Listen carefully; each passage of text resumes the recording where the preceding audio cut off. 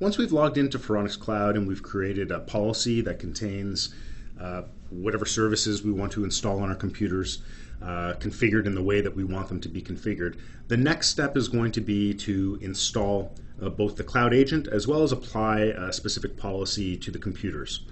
Uh, in order to do that, from the home screen in the uh, Deep Freeze Cloud interface, we'll see there's an Install Cloud Agent button towards the upper left.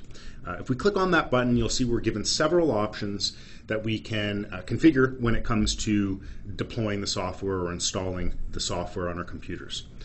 First and foremost, towards the top, we have the ability to automatically specify a group that the computer that we install the software on will automatically be assigned to.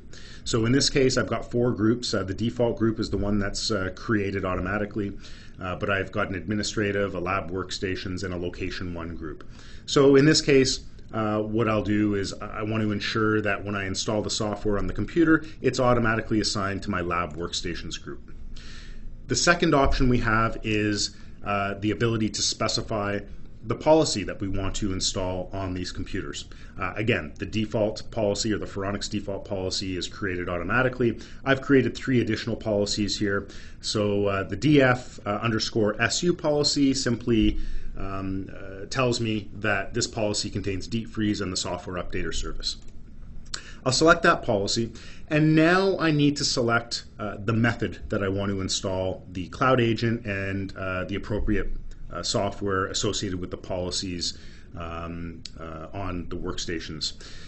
And uh, the options that exist uh, are, are as follows. So there's four options available. Uh, the first option is to download an installer uh, to install on any computer. And what this option does is it simply provides uh, an executable file that will install the cloud agent as well as include uh, any of the software associated with the services enabled within the policy.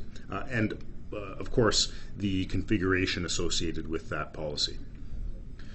The second option uh, allows you to easily create a URL um, that you can uh, copy and uh, uh, provide to users or, or carry around with you uh, in a text file on a thumb drive or anything like that. And if we uh, enter this URL in a web browser on the destination computer, and uh, uh, hit enter, what that will do is actually do the same thing as download the installer. It'll download that exe file locally on that computer, uh, which can then be run. And again, it will install the, the cloud agent as well as the uh, services and the configuration associated with the policy you're looking to apply.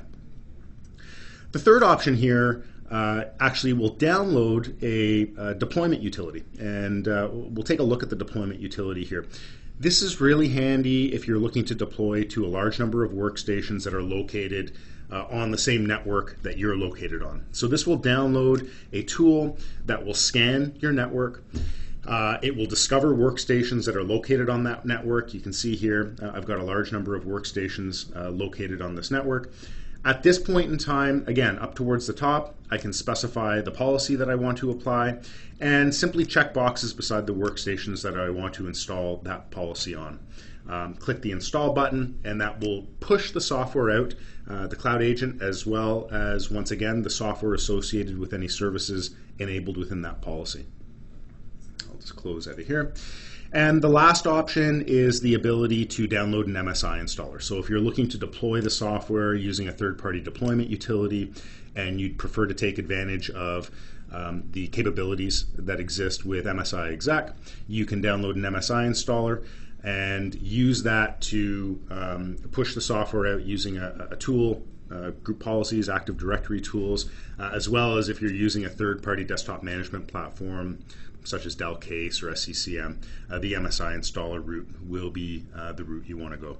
Uh, once you've uh, downloaded that MSI, much like the exe file, you simply deploy it out to your workstations, and once again, it will install the um, software and the cloud agent associated with the policy that you've specified above, uh, as well as place those workstations into the group you've specified. And that is uh, really the, the options and, and, methods that are available to deploy the software uh, that will allow your computers to easily connect to our cloud platform. And uh, of course, we'll install the uh, software associated with the services you've configured within your policies.